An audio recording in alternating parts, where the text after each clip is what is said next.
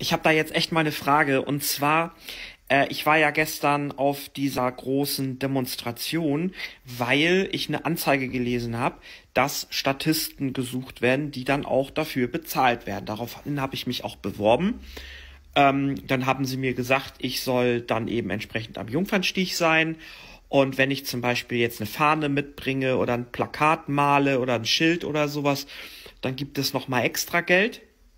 Und dann habe ich äh, eine Karte bekommen, und zwar hier so eine Karte, ja, und da haben sie das aufgeladen, das Geld. Und die meinten dann auch zu mir, wenn ich jetzt zum Beispiel auch noch zu anderen Demonstrationen gehe, dann bekomme ich äh, extra Geld dafür. Und dann habe ich noch eine App, äh, musste ich mir runterladen, wo dann mein Standort eben übermittelt wird, dass ich auch wirklich da gewesen bin. Und dafür wird dann das Geld eben auf diese Karte hier überwiesen. Und jetzt wollte ich euch mal fragen, ob ihr wisst, wo man das Geld überall einlösen kann. Ja, also es wurde gesagt, ähm, man kann, weil hier sieht man ja auch oben dieses Symbol, man kann mit dieser Karte eben auch äh, bezahlen.